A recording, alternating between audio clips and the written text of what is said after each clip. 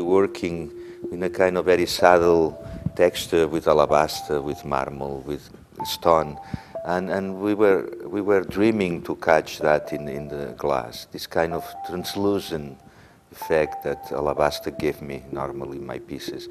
And, and, and we got with Laura's hands, and that I think is the important moment.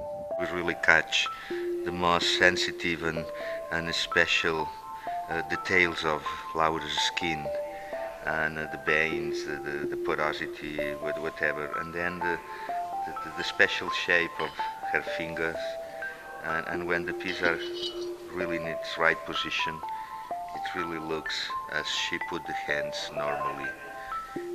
It's a, it's a very moving piece. Glass has this uh, strange contradiction uh, because it's very heavy, but at the same time it's very fragile. Uh, you can get very an incredible mass of material, but continues to be translucent.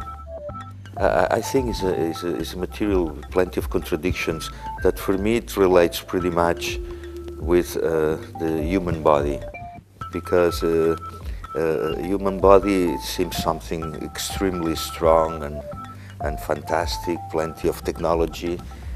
But at the same time, we, we, we are very fragile as human beings.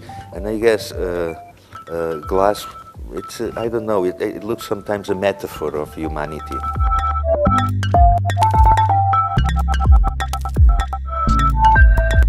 When I'm talking about my work, I'm, I'm, I'm always talking about families of work.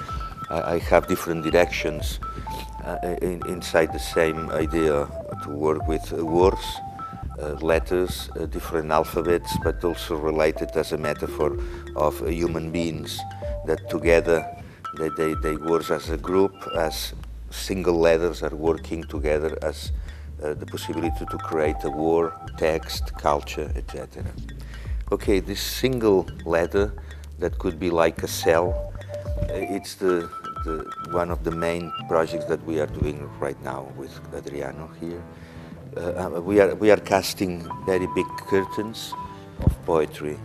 Uh, I choose a poet that I'm using pretty often because I love him, which is William Blake.